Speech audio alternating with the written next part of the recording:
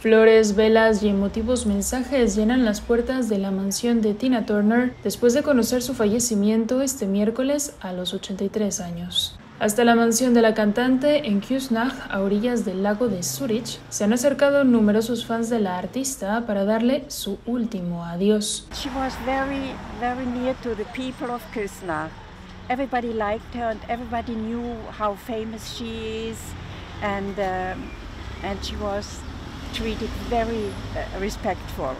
Desde los vehículos de estos fans en las proximidades de la casa suenan éxitos como The Best o What's Love Got to Do With It.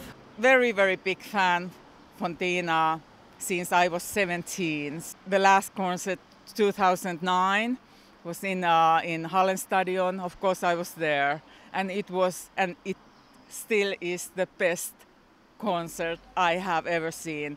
Turner, que en 2013 renunció a la nacionalidad estadounidense y adoptó la suiza, falleció en esta misma propiedad en la que vivía con su marido.